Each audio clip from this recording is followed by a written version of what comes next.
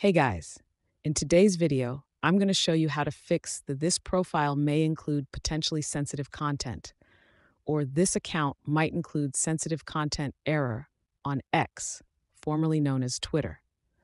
If you're trying to view someone's profile on X and you're seeing this error, here's how to fix it step by step. The first thing you need to do is open your browser and go to x.com. Log into your account by entering your username and password.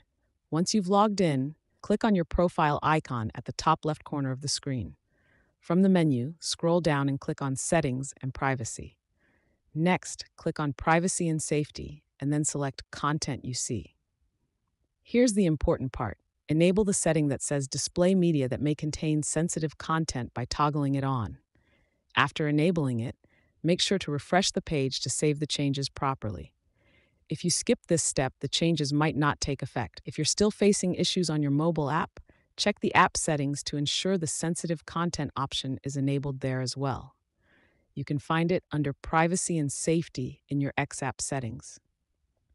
Once everything is set up, go back and try viewing the profile again. It should now display all the content without the error message. And that's it. If you found this video helpful, smash the like button and subscribe to my channel for more tutorials. Thanks for watching. Drop a comment below if you have any questions or need further help.